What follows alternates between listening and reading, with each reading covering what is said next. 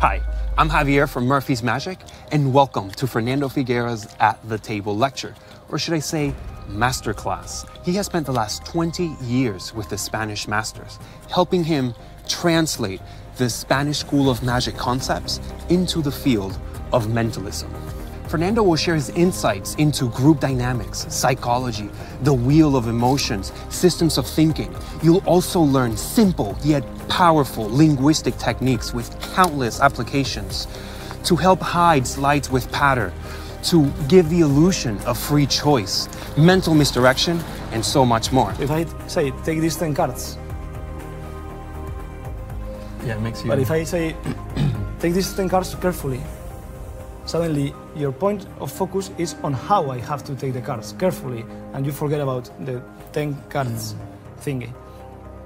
So it's a useful way in order to make things more smooth. Fernando's mentalism requires a lot of manipulation, false shuffles, and palming.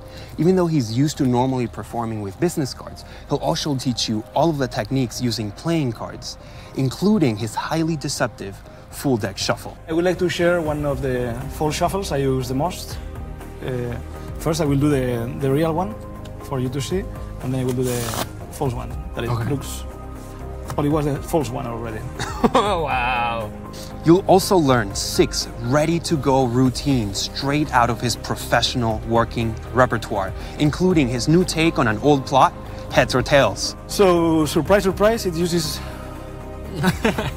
two business cards here. I will leave them square for a moment. He then introduces three different invisible imaginary coins, one of which is selected by the spectator and flipped in the air. Is it her- heads or tail? Heads. Heads. Can you read out loud for me?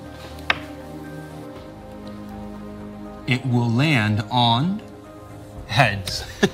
And what coin is it? Uh, nickel. You will choose the nickel. Wow. nah. He's also sharing his go to routine, Clip Ahead, which, as the name suggests, uses the one ahead principle, but only with one face. The thing is, remember the premise. I was gonna get it wrong. You told me, I told you, that one answer you will get it right, and one answer you will get it wrong. So in here, Oh, wow.